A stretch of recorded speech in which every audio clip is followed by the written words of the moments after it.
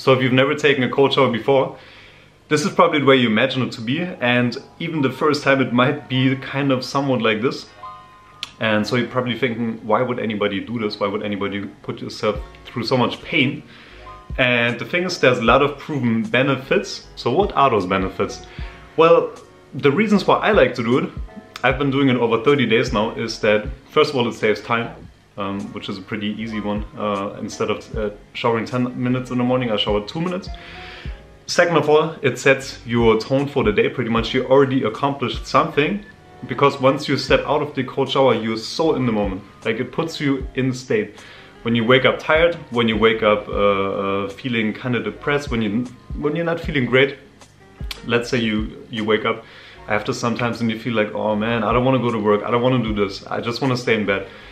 I'm not feeling great. I'm feeling kind of down, kind of sad. I don't know, like there's, there are days like this, right? So when you go into the cold shower and you've done your morning routine before, maybe like yoga, uh, reading, uh, meditating, but the thing that gets you most in state is the cold shower for sure. And it only takes one or two minutes. In the beginning, maybe it's just gonna be 30 seconds for you. Um, was for me, and but you slowly build your way up. And it's gonna set your tone for the day. It's gonna increase your mood uh, right away and you feel like you already accomplished something. It puts you in state so much, like you have so much energy when you get out. If you want, you can also scream. Um, if you, I mean, if you want to wake up your neighbors, for example.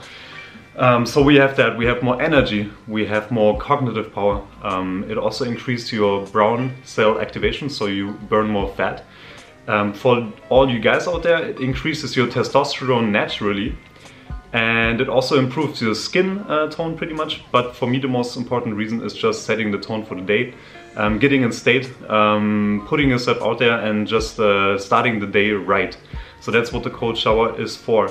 And I've been doing it over 30 days now and I'm definitely going to continue doing it. And it's pretty tough here in Germany in winter when it's minus 20 degrees but it's still a great experience. And uh, I hope you guys are going to try and enjoy this challenge as well.